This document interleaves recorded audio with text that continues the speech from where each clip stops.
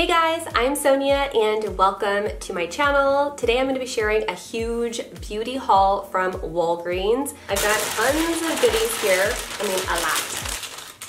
I spent $156. Today I'm to create this look for you. It's really natural, dewy, and really easy to apply. A lot of the stuff you're going to see me use my fingers as well. Just like effortless, easy makeup, right? So yeah, I'm also like creeping on 40 and I wanna make sure that I take care of my skin and the way that we apply our makeup is definitely going to make us look either younger or older and which one of the two do you want to look? Now if you like videos like this and are interested in seeing more, don't forget to like, share, and also subscribe to this channel and let's get started. Just a little disclaimer, this video is not sponsored by Walgreens or anybody else. Maybe the Lord, thank you Lord for giving me the money to purchase all of this makeup. I do have links to everything that you're gonna see in this video in the description box down below. We wanna make sure that our makeup that we apply to our skin is not expired, so check your expiration dates or throw out anything that might be old. I know it's gonna be hard to do. You're gonna have to say a little prayer to your products, but it's worth it. You don't wanna put expired makeup on your face because it might fall off. So how I'm going to do this video is I'm going to take things out of my bag and my thoughts as I'm applying my makeup. This is the Garnier Green Labs Brightening Serum Pina C. Um, it's with vitamin C and pineapples. It has broad spectrum SPF 30 sunscreen. So a lot of people always say like, you don't want to wear sunscreen when you're taking photographs because of the kickback or this white cast that will be all over your face or wherever you put your sunscreen. But in my experience, I didn't have that problem. My skin is so dry right now during the winter. I don't know if you guys are experiencing this. I also have like a chapped nose all the time from wearing a mask. So I kind of go in with my moisturizer around the nose area especially. Like right in the little nooks and crannies, girl. Next, I'm gonna be using a primer, and this is from e.l.f. Similar to the Physicians Formula Butter Believe It. I love that one, and I continue to use it, but I heard so much about this one in particular that it's, why not? I'm gonna go ahead and put my fingers in it like this and kind of just like warm it up. And since this is just for me, and I don't do makeup professionally, I'm gonna go ahead and go straight to my face. That feels really good. It feels almost like a moisturizer, just thicker. And it's not doing anything to my moisturizer as far as like making it ball up or anything like that. So the amount of primer that I got off of this just from a few rubs was enough to cover my entire face. We'll see how this holds up during my application. I'm hoping that it doesn't leave me looking too oily. Okay, so next is gonna be foundation and I bought four different foundations. You guys seen the L'Oreal Paris Skin Paradise um, foundation in my recent Target haul and I actually had to return it because it was too dark. I got medium two and this is light one. So I was able to swatch it and I'm hoping that this will look great on my skin. I feel like it's still really dark.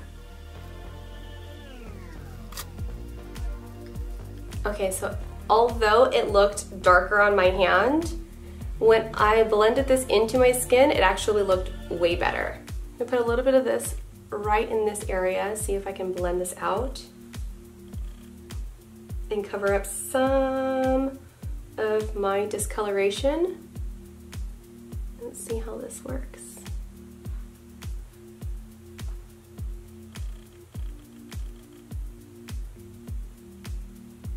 Ooh, okay. That covered really well. See that compared to this?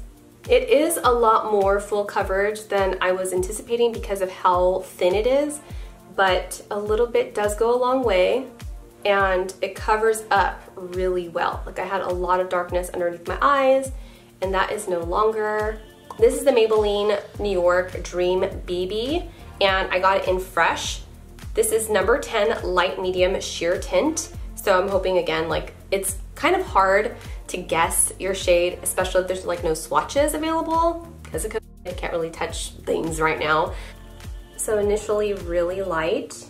BB creams are typically like really sheer and light. They're just supposed to like protect your skin while adding a little bit of cover. So far, that one just melted right into my skin and that looks really good. I'm just hoping that it doesn't dry down dark. I also have, I also have, I also have the L'Oreal Paris Age Perfect Radiant Serum Foundation with sunscreen and I got it in the shade Nude Beige number 35. This one's a lot thicker and has more coverage than the last few products. And let's cover that up. I'm just using my finger to place it where I really need the most coverage because I have like age spots, sunspots, melasma, some freckles, um, redness from allergies. Blend this out.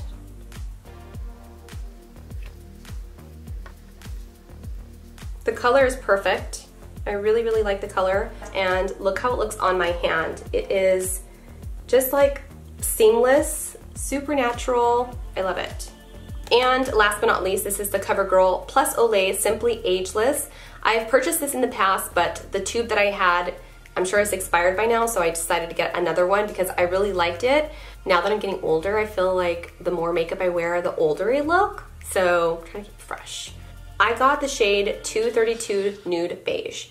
This is a three-in-one liquid foundation. It has hyaluronic complex with vitamin C, and it instantly reduces the appearance of wrinkles and improves tones while delivering um, a firming moisturizer, which we love. I really like this formula. It feels really good on the skin. It really does feel like I am applying like a moisturizer. It is thicker and in my opinion, I feel like it's more full coverage. Again, I'm just kind of like spot treating where I want the most coverage and then I'm gonna go back in with a brush or with a sponge. I need my mirror a little bit closer. Your girl's losing her sight.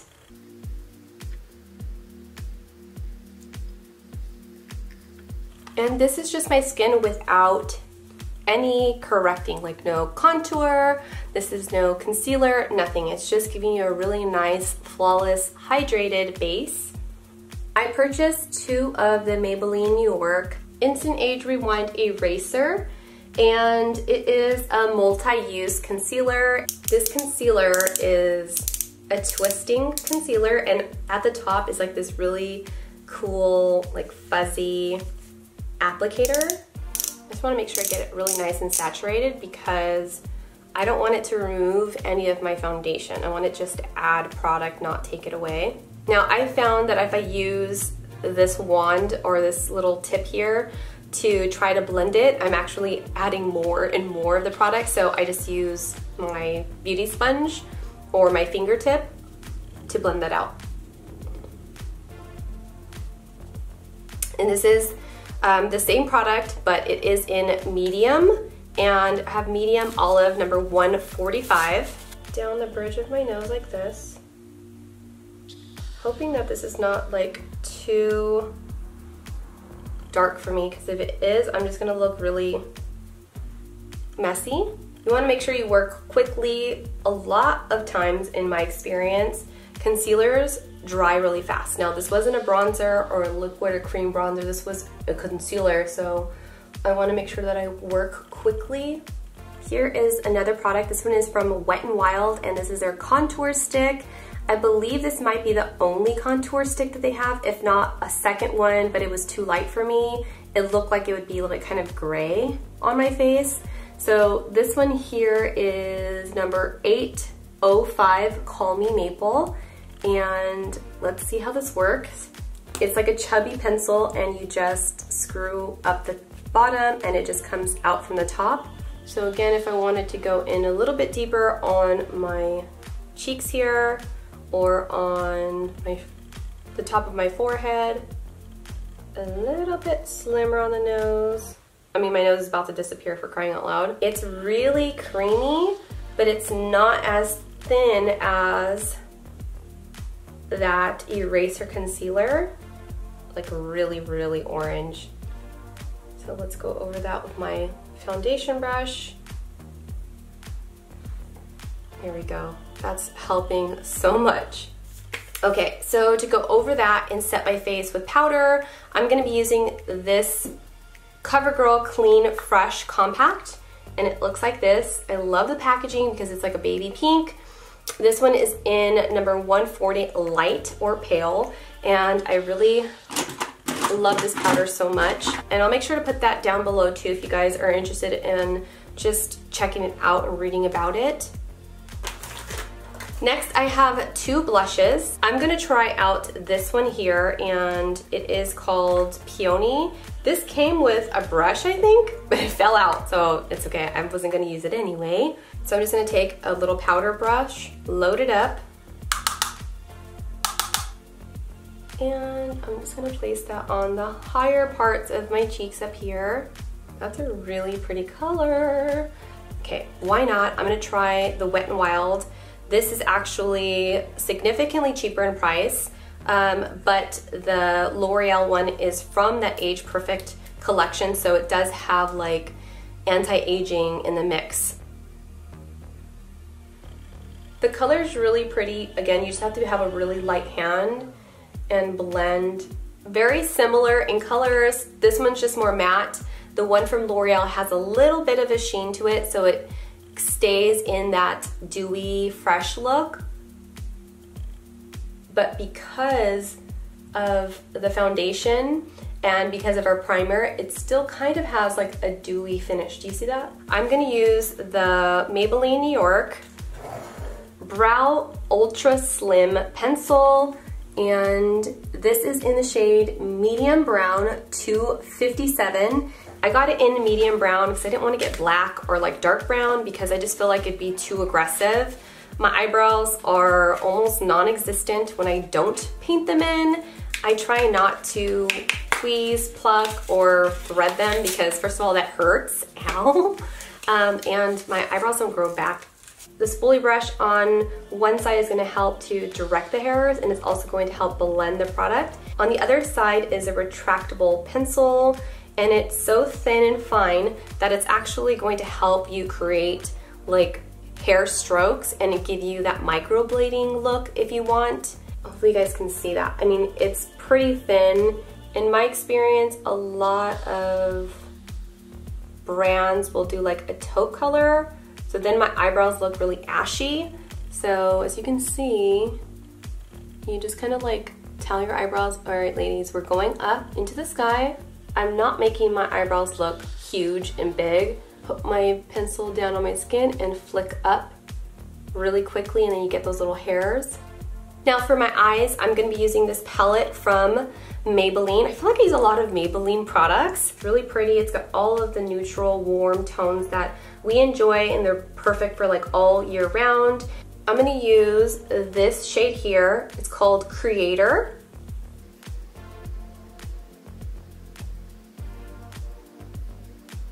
I'm just gonna go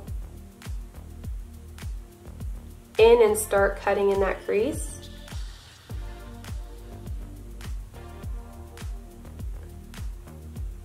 Which again, even this is like out of my comfort zone because I really don't cut the crease anymore. Only because I've got so many creases everywhere, girl. Ah, my eyelids are getting heavy. My skin was so tight when I started YouTube. Now it's going down part of me just wants to own the fact that I keep getting white hairs and they're taking over and just like, I don't know, part of me just wants to dye my whole head silver and just be done with it, you know? I'm gonna go back into that palette and grab a flat shader eyeshadow brush and take this color called Artist and I'm gonna pat that right on that concealer just to brighten up that area. This really does change the look of your eyeballs as well. I'm gonna use um, Self Starter. For me personally, I have never said like I am self-made.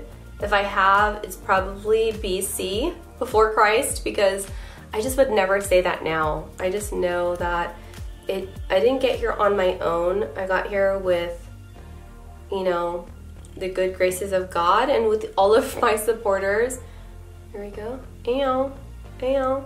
kind of love this vibe that we're doing here, like just hanging out, playing with new makeup and creating a look for you guys because I'm like chill. I don't feel like Okay, so I already have on eyelashes and I was wearing these to church. I had intentions of coming back and filming this video for you guys, so that's why they're on there already. Also, some of my like dirty, busted, crusty um, eyebrows were on there previous, so I just kind of like fixed it a little bit, but I'm gonna throw on some eyeliner now, and this also can change the way that your eyes look in your makeup application. So what I'm gonna be doing next is just taking the tip of my eyeliner, and this one is from Maybelline. This is their Master Precise All Day, and it is in this shade. Is the shade on here? No. I think it's like, it looks like dark brown to me. So I just go a little bit on the inner corner, and then I go right from the top, like where the ball of my eye starts, and I go back into time over here.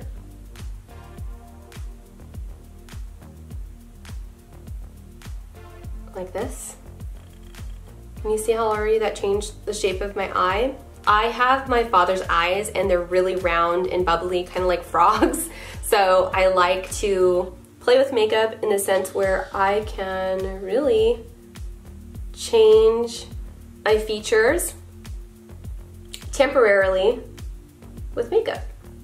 So again, with that high wing, Still keeping it rather thin because it's not so prominent and it just changes my eyes. Now my eyes are like going back, right? And it looks lifted. Before I move on to my lips and finish off of this look, I'm gonna use a little bit of Milani's Make It Last, and this is just a setting spray. There are tons of different setting sprays. The one that I've been loving a lot lately is this one from the Professionals. This is from Benefit Cosmetics. It's a really fine mist. Can you see that? Really fine, kind of like those misters that are out in the restaurant to keep you cool. It's like that. It's really, really thin. It's got a really pretty scent to it as well. This one, even that, it's a little bit, it was a lot. I was always apprehensive about using setting sprays because I was scared I was gonna get like a right on my face and it was gonna mess up my makeup. So I really have to like back it up. Moving on to my lips, if you guys watched my last makeup haul, if you didn't, I'll make sure to put a link in the description box down below.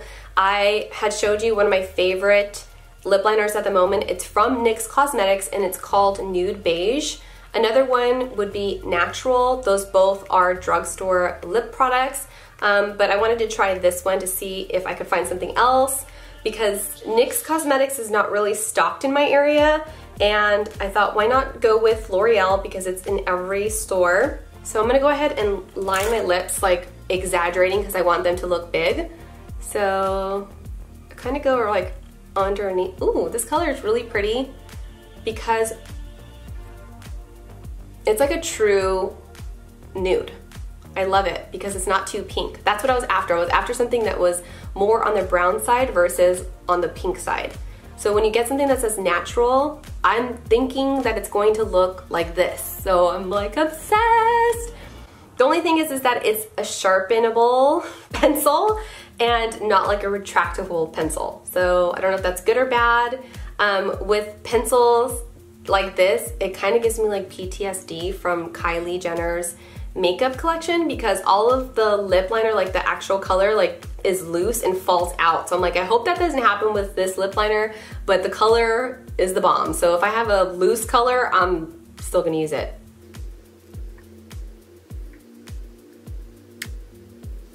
I'm obsessed with this color. So if you're gonna pick up anything from this entire video, it would have to be number one, get that nude lip liner, especially if you're a nude fanatic like me. 216 Glowing Nude, and it looks like this. It's a really beautiful nude lipstick. I love the ombre packaging as well. Ooh, it's really hydrating too. I think I just found my new favorite lip combo. How many of you guys purchased Ferris Nude because of me? That was my signature color. I can't tell you how many times I've signed a lipstick tube of that when I've either met you guys at a meetup or I've met you guys out in public. that is like number one. Everybody always tells me about that one particular shade. I still have it and I still purchase it when I see it in the drugstore. I just stopped talking about it because I felt like y'all were like, get a new color. and that's it for today's haul slash makeup tutorial. Hopefully you guys enjoyed this type of video. And if you do, please don't forget to give me a thumbs up. And if you have not already subscribed and joined my family, please consider doing that now. And until next time, I'll see you guys soon. Take care. Bye.